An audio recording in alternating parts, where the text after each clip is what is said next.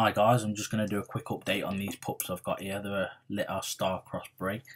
Um, I've not been able to do proper Whippet diaries because since YouTube's changed over to this Google Plus thing, it's stopped me uploading a lot of videos and messed about with it completely. I can't seem to upload anything more than three minutes long. So I'm going to do a quick update on the pups. They're three weeks old now and they're uh, doing really well.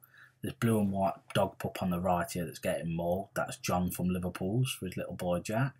I hope they're uh, watching this and watching how it's growing.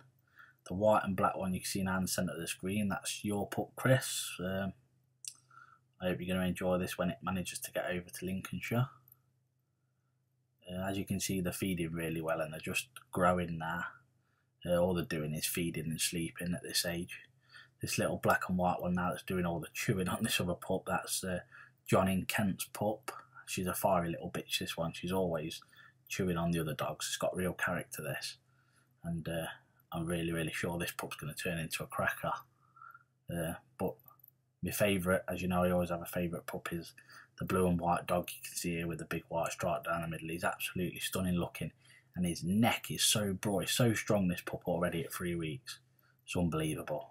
Um, on the left of the screen here, the blue and white bitch pup you see feeding, that's actually my own pup that I'm keeping back and the other two that are suckling now in the centre of the screen they're actually still yet to be reserved. It's a blue and white dog and a black and white bitch.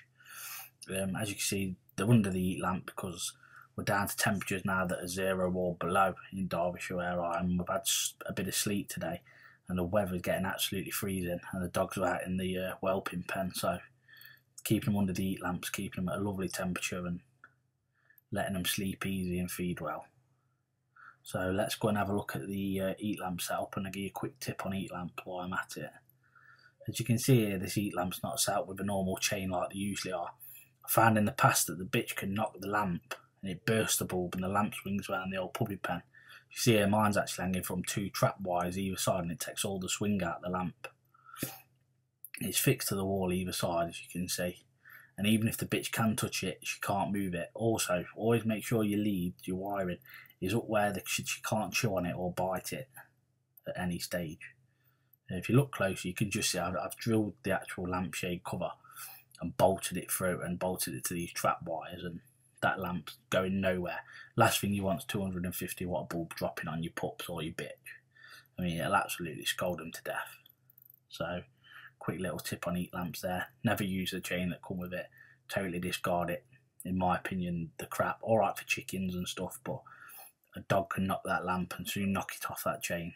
So uh, I hope you enjoyed this really short video. I'm sorry there's no proper puppy diaries, but just with this new Google Plus thing that YouTube changed, so I just I'm really struggling to upload videos. So I do apologise, and I hope this has given you a little insight into your